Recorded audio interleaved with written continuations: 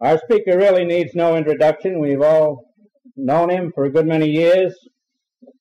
Uh, when I first met him in the Mises seminars way back in 1950, 51, and so forth, he was going for his doctorate and he was having his troubles up at Columbia where he got all three of his degrees. And finally, when uh, Eisenhower was kind enough to inflict Arthur Burns on us the first time, why, Murray was able to get by with his thesis, The Panic of 1819. And he had to rewrite it and rewrite it and rewrite it because they wouldn't accept uh, the philosophy of Mises. And Dr. Rothbard, as you all know, is quite an individualist. He's, uh, of course, written a number of books besides this Panic of 1819. I hope most of you are familiar with his Man, Economy, in the State and America's Great Depression and his little pamphlet on money. What has the government done to our money?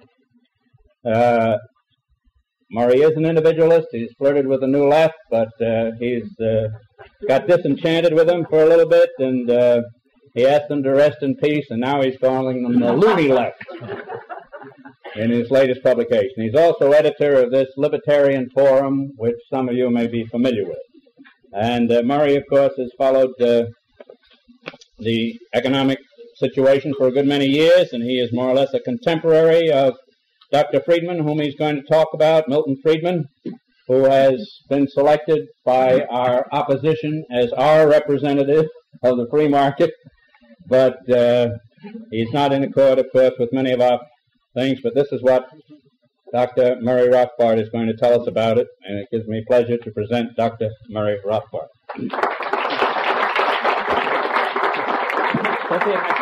Yes, sir. Any way you wish. Well, thank you very much, Percy. Don't throw bricks. Right. uh, the pleasure of being here again. Uh, I'm not quite of Milton Friedman's generation. Not, uh, it's sort of a petty point. I'm a little bit younger than he is. Insert that into the record. uh, I think a lot of us, a lot of people seem to seem to have been afflicted with uh, an excess of Friedman worship. So I'm not going to stress the, the, the good points that Friedman has done uh, in the past few years. I think um, most people are familiar with it. Uh, I might I might even be so unkind as to paraphrase uh, when Friedman's mentor Henry Simons uh, wrote an article about Alvin Hansen one time. Hansen being the top uh, left-wing Keynesian in the past years, now more or less retired. He wrote an article saying, he began the article by saying, I come to bury Hansen, not to praise him. and uh, I can say the same thing about Friedman tonight. Uh, in the first place, uh, one of the problems with the, with the, the press in general is that uh, the, the, press has a very short memory. So if somebody comes up with an idea uh, and uh, nobody said it for the last three years, it's, it's immediately hailed as a great new idea, a great new discovery. And the, the same thing has happened to Friedman. Almost everything he says is a complete reincarnation of what, for example, Irving Fisher had said 40 years ago, 30 years ago. But since the collective memory of the press and even the economics profession is very short, uh, nobody points this out. So Friedman has discovered all sorts of so-called laws, uh, which are simply rediscoveries or restatements of uh, what Fisher had said clearer, more in a clearer fashion, uh, 40 years before. Uh, for example, there's a famous law that Friedman is supposed to have discovered a year or two ago that the interest rate rises uh, during inflation, especially during the later stages of inflation, because as prices are going up, we have a discount, a, a positive price discount, uh, a premium, rather, a positive price premium on uh, the interest rate to account for the uh, prices rising, so that the uh, if the creditor is demanding a six percent return, for example, and prices are going up six percent a year, obviously you have to ask a lot more than 6% to, uh, to overcome the inflation. Uh, so Friedman's supposed to get, have this great new discovery, and the economics profession now sort of a tizzy in a tizzy about that. And of course, Fisher had said the, exactly the same thing about 40, 50 years ago, and Professor Mises has said the same thing in his work, and so forth. But uh, they say the collective memory of every of the press and the economics profession is very, very short. Uh, and this is, uh, as I will point out later on, this is true of Friedman, uh, Fisher's, uh, excuse me, Friedman's general theory about money in the business cycle. It's essentially Fisher rediscovered and with a lot of statistics added onto it. Uh, I'm going to talk tonight essentially about the political rather than the methodological critique of Friedman. I could say a lot about the methodology, but I think uh, in this sort of gathering, I think we can stress the political economy aspect. I just want to say in passing that Friedman is the, probably the outstanding proponent in methodology of uh, an extreme variant of logical positivism. In other words, the, the, the major major opponent of Professor Mises' methodology, so to speak. Uh, Friedman is so extreme that he says that uh, an assumption, an, a theoretical assumption, doesn't have not only doesn't have to be proven, it can even be false and still be a correct theory. It doesn't matter if the assumptions are false, he says, as long as the predictions are correct, which are based on these false assumptions. So this is a, an extreme version of um, of positivist methodology. and I'm saying this is the exact counter to everything that uh, praxeology holds dear. Uh, but I say, I don't want to talk about methodology uh, tonight. I just want to mention that in passing. Uh, first, uh, and I'm not going to deal too much with this either, is the, the whole field of monopoly and competition.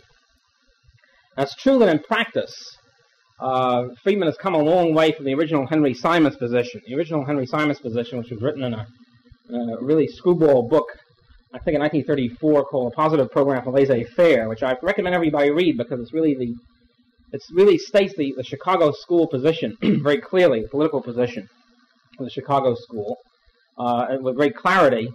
And essentially, Simons said was that every corporation above the size of a small blacksmith shop should be broken up, by trust, be trust busted by the government, and reduce down the blacksmith shop size so that we can all have perfect competition. We can enjoy the benefits of perfection and competition. and uh, this, I say, was the original Chicago position. It's come quite away from that, happily. Uh, and Friedman today doesn't take this position. He says, well, he recognizes that the major source of monopoly today is, is government privileges, government regulation and subsidies and so forth. But still, there's the canker there. The theory is still there. the theory being the Chicago position of perfect competition, in quotes, is better than imperfect. In other words, that a firm with a constant demand curve, a horizontal demand curve, is somehow better and superior and more pure, less uh, and more moral than a, than a firm in a state of which faces a falling demand curve. So this idealization of perfect competition still remains, even though it's, it's, it's played down now in practice in the Friedman position. But it's still there to, to, to plague us in the future because uh, uh, sometime in the future we'll get we'll get this. Uh, we'll again hear the cry from the Chicago school: such and such a corporation should be broken up because it's too big and it's facing a falling demand curve and so forth. We can expect it at any time. Put it that way. Uh, just as Professor Stigler, uh, Friedman's most distinguished associate, uh, said about 15 years ago, U.S. Steel should be broken up into, into, into its constituent parts because it was monopolistic. Uh, I don't know if he still says that. He's come a long way too from the last 20 years. But as I say, the theory, theoretical structure still remains. But I don't want to deal too much with monopoly and competition either, because this is again more theoretical than a political position at the present time. Let's get to the, the Friedman's big argument for government intervention in general, which is the so-called neighborhood effect. um, and it's particularly I want to talk about the external benefit part of neighborhood effect. Uh, in other words, the idea that uh, if two or three people are doing something which another set of people are benefiting from but aren't paying for, this is a terrible, terrible thing, and these people should be forced to pay for it. This is one version of it. Now, in practice, again, in practice, Friedman doesn't push this to a great extent. He, essentially says, well, this is really limited. Uh, we limit the application of this to uh, urban parks, Central Park, and so it should be governmental because you can watch the park and not pay for it, and therefore uh, it's a terrible thing. You should be forced to pay for it and also education, which is another big, of course, a very big uh, item. He's in favor of government being up to its neck in for the same for the same reason. But as, in general, he restricts it more or less to those areas. but my contention is that it can be used, the same argument can be used for almost anything, to justify almost any act of government intervention whatsoever. That Friedman is really unjustly limiting it once you accept the argument.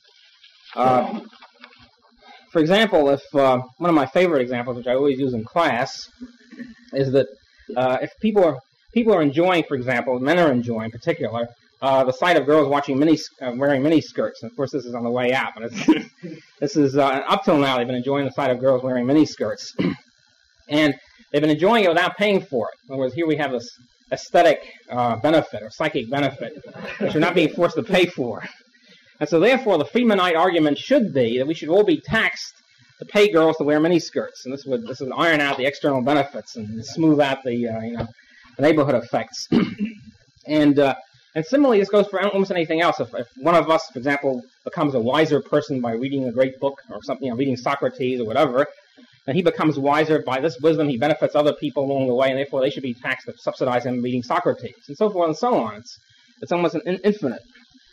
Uh, and this whole uh, approach seems to me to be uh, uh, you know, very peculiar. In first place, it, it really means we should we should all wear sackcloth and ashes because we're all free riders. This is really attack on the free rider, but we're all free riders on the the, the discoveries of the past, the writings of the past, the, the technical inventions, the capital investment of everybody who's gone before us. We're all we're all getting the benefits of this without paying for it, in a sense. And you know, uh, does that mean we should we should beat our breasts and tear our hair and, and be taxed by somebody in order to somehow pay for this? Uh, you know, uh, to suffer for these benefits that we're, that we're, enjoying. It's a very peculiar kind of theory. And so I'm really saying is that free riding, which Friedman is trying to attack here with the neighborhood effects, is really uh, an essential part of civilization altogether. If we want to, uh, uh, if we want to abandon free riding, we really have to abandon the fruits of civilization. Uh, now, when I've talked to Chicagoites and Friedmanites about the miniskirt analogy, by the way, they admit that this is correct, but they say they wouldn't push their theory that far. Well, you know, why not? I mean, this is, uh, course, again, rest, uh, again, we, we talk about the, the, role of logic in political policy. And of course, those of us in favor of logic, I think, uh, have a point there. uh, there's another part of the theory uh, that if, if you're sort of the, the other side of the coin of the free rider, is that if you can do something which will benefit other people and you're not doing it, they should be able to force you to do it. Um, if you're not conserving copper or something like that sort, and this, this conservation will help people. They should be, be able to be forced to do it. My favorite analogy there is the case of three, four guys, three guys who are, who are uh, playing a string quartet. There's a fourth guy who can who could play the cello, but is sort of recalcitrant and doesn't want to do it. And the theory then should say they should be able to force him to play the cello because this will benefit all three of them. and uh, this again is part of the neighbor. I'm not saying Friedman says this, but I'm saying is he should be saying this. If he a consistent uh, neighborhood effect theorist. Uh, so there's so much, I think, for neighborhood effects. But I'm saying this is Friedman's major argument for uh, government intervention in almost any area that he thinks is, you know, the, the argument applies, such as education.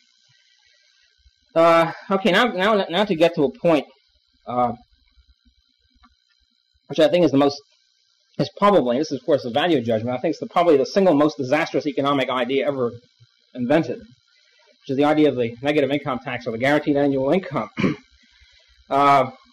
of course, here again is an interesting situation. Uh, Friedman coined the idea of a negative income tax. In other words, a, uh, a, min- a, guaranteed minimum income floor for everybody. This became the inspiration for more more uh, radical schemes, such as Robert Theobald and the ad hoc committee of the Triple Revolution, and so forth and so on. And also, of course, for Nixon's current welfare program. Uh, the, the problem with the national negative income tax is that it provides an income floor by right. In other words, as a, as a, as a rightful claim, as an automatic claim upon production.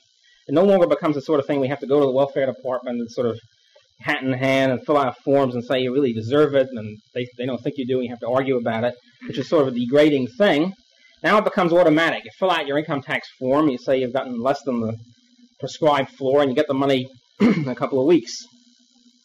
Now, this, what I'm saying here is that the present welfare system as crummy as it is, as bad, bad as it is, as, as inept and as inefficient and bureaucratic as it is, is precisely saved from disaster by the very ineptness, its very bureaucracy and very inefficiency. Because it means that the whole system of going on welfare, first place, is chaotic, so it's not automatic. Second place, it's unpleasant. You have to go through all these bureauc- these tin horn bureaucrats uh, to justify being on welfare and get inspected and so forth. And this very unpleasantness provides an extremely necessary disincentive effect to prevent people from going on welfare. This is the, incidentally, the, the original, the old 19th century laissez-faire liberal position. If you have to have welfare at all, it should be very, very unpleasant, so as to discourage people from going on it. Uh, and the Friedman theory, in the, in the, name of efficiency and simplicity and automatic and automaticity and so forth, eliminates this very essential unpleasant feature. Makes the thing, as I say, automatic. Uh, what we have to realize is that there is a supply function or a supply curve for going on welfare. and the various empirical studies have shown the quantitative importance of this.